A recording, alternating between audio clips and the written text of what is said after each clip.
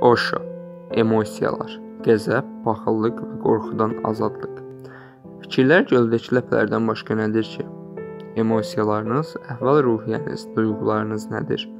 Beyniniz nədir? Çaxnaşma. Elə beyninizdə olan bu çaxnaşma səbəbindən də siz öz təbiətinizi görə bilmirsiniz. Beləcə, siz özünüzü itirməkdə davam edirsiniz. Siz bu dünyada hər bir kəslə rastlaşa bilərsiniz, ancaq heç vaxt özünüzə rast gələ bilmərsiniz. Giriş.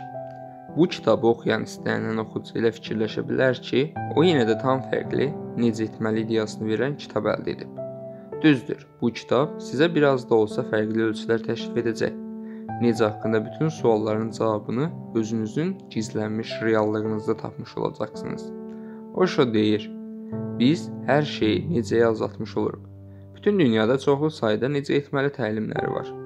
Hər bir şəxs, xüsusilə də müasir dünyanın beyin sahibi necə etməyi bacarına çevrilib. Bir sözlə, müasir insan bunu necə etməyi, onu necə etməyi, necə varlanmağı, necə uğur qazanmağı, insanlara necə təsir etməyi, dostları necə qazanmağı, necə fikirləşməyi və s.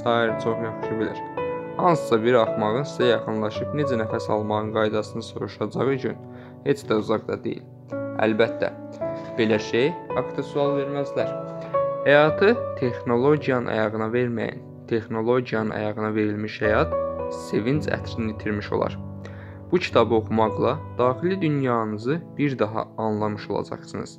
Rastlaşdığınız bəzi ideyalar sizi narahat edər. Bu vaxtacan bilmiş hesab etdiklərinizin əksi ola bilər. Bəzi fikirlər sizi şoka salar. Bilmiş hesab etdiyiniz ideyalar haqqında fikrinizi dəyişə bilər. Nə qədər ki vaxtınız, imkanınız var, özünüzə qərq olun. Özünüzü müşahidə edin.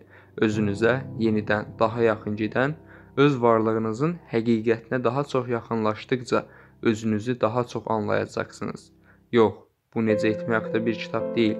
Bu sizin işlədə biləcəyiniz bir lampadır. Kim olmağınızdan asılı olmayaraq bu lampa vasitəsilə unikal iç dünyanıza işıq salıb özünüzü görə bilərsiniz.